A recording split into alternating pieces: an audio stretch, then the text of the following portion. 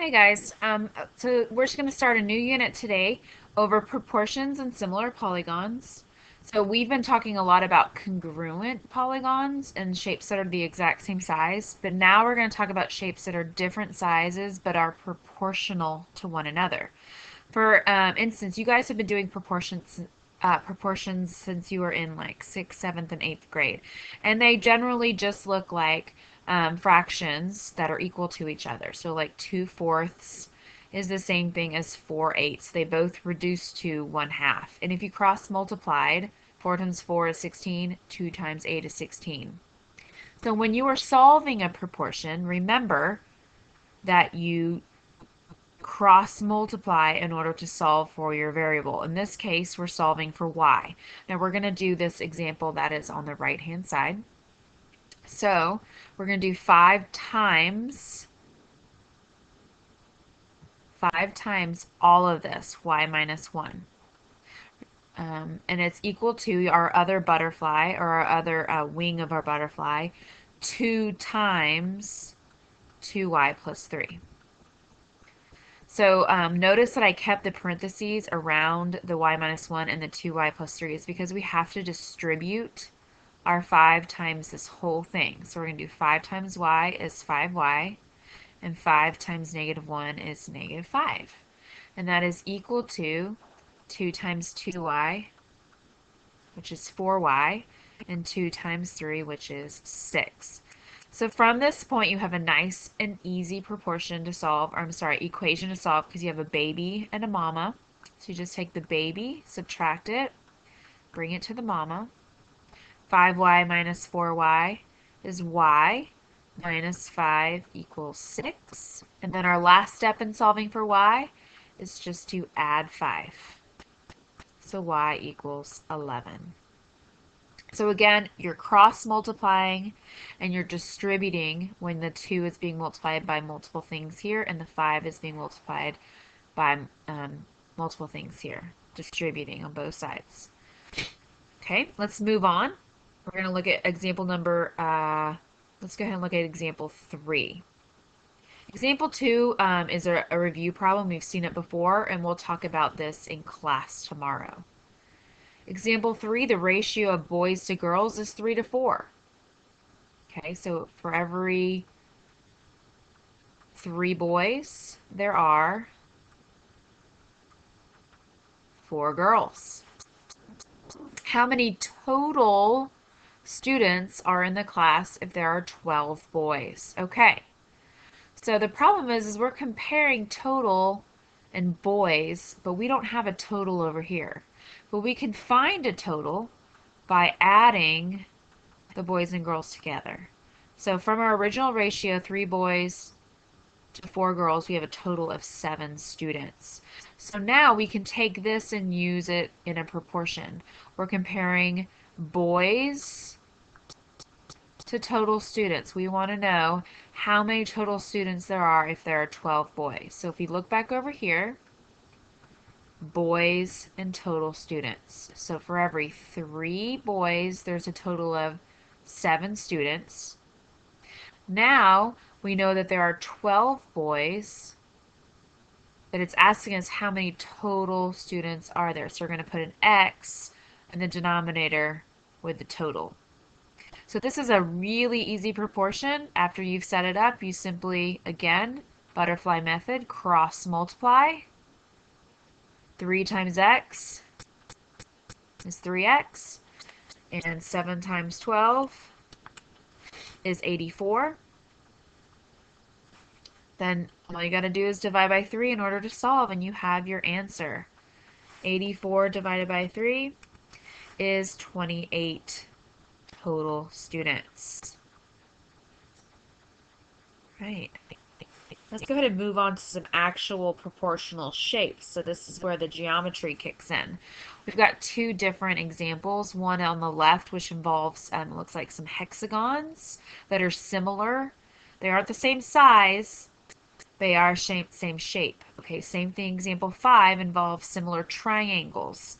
Same shape, different sizes. Okay, so we're going to go and talk about this example right here with the triangles. Notice that This triangle is sitting straight up. And this one's kind of rotated. So what I'm going to do is, in order to help me see it better, I want to redraw it. Okay, that's an ugly line. Sorry about that. so if you were to rotate this, the top point would be T. Okay, and the right angle would go right here, which is R. And then Q would be in this corner. And it's telling me R to Q is 0.5. R to T is 1 and T to Q is 1.1. It also tells me that angle T is 27 degrees. So now I can look at my triangles and see that they are facing in the same direction. That helps me a lot. So we also have some missing angles here. For example, in this triangle, we have 90 degrees and 63 degrees. So in order to find angle M, you would just add 90 and 63 together and subtract from 180, because we know there's 183 degrees in a triangle, and there are 27 degrees in angle M. So look at that right here. First triangle, 90 degrees, 90 degrees, 27 degrees, 27 degrees, 63 degrees. So angle Q also has to be 63 degrees. Okay, so we're going to go ahead and write the congruent angles on here. We'll start with the right angles. Angle O is congruent to angle R because they're both 90. Angle M is congruent to angle T because they're both congruent to 27 degrees. And angle N is congruent to angle Q because they're both 63 degrees. Okay, so now what makes these triangles different is they have the same size angles, but look at their side lengths. They're different lengths. MO is 2, but TR is 1. Okay, so these are called corresponding sides. M to O corresponds with T to R. This one is bigger than this one. So we're going to write MO and TR correspond. They're not the same lengths, but they're on the same side. Okay, ON on the bottom corresponds with RQ. And MO, which is the hypotenuse, right? And Is hypotenuse. Corresponds with TQ, which is the hypotenuse in this triangle. Okay, so now that we have congruent angles, three of them, and corresponding sides. These, these sides are proportional, and what I mean by that is that they are similar to each other. Lost it there. Here we go. There we go.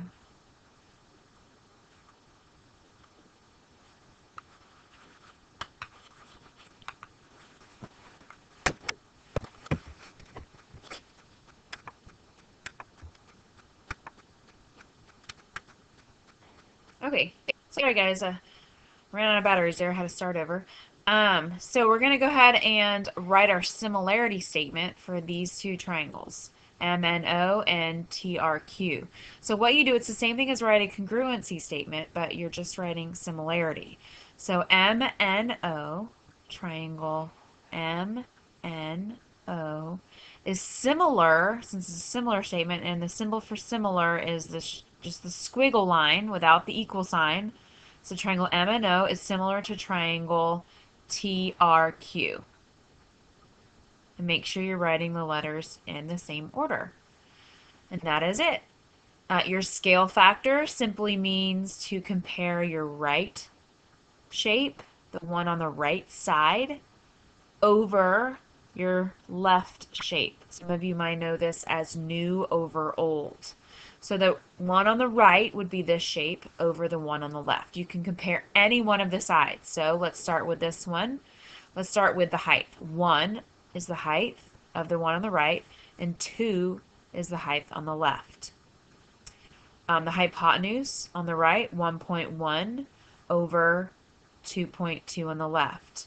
The base on the right, 0.5 over 1 on the left. All of these fractions, 1 over 2, 1.1 over 2.2, and 0.5 over 1, all of those um, reduce to, to uh, 1 half in your calculator. So the scale factor of this shape is 1 half. So remember, scale factor is always right over left. Okay, let's check out this next page. We're going to do example 6. Determine whether the given rectangles are similar.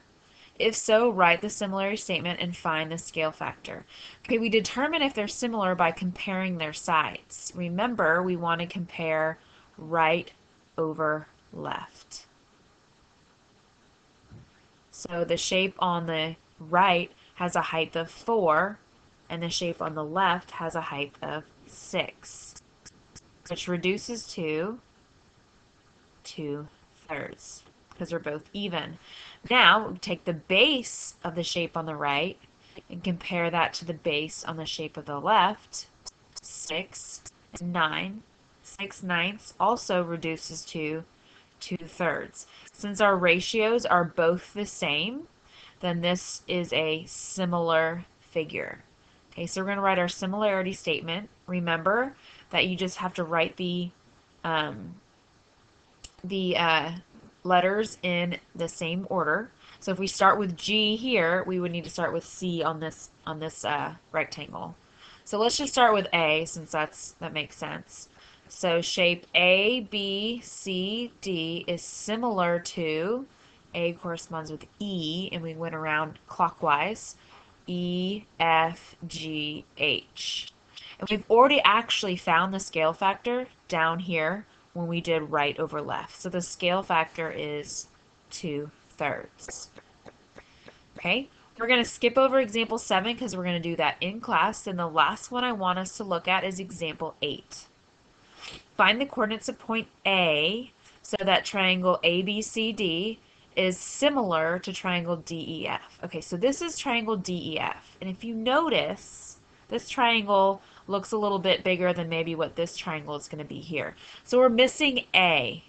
Notice that A is the first letter listed here, and it's going to correspond with the first letter in the other triangle D.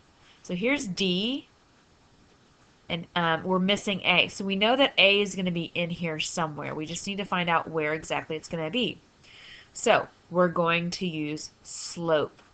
Rise over run. So you're going to rise two, run two, to go from F to E. And from C to B, you're going to rise one, run one.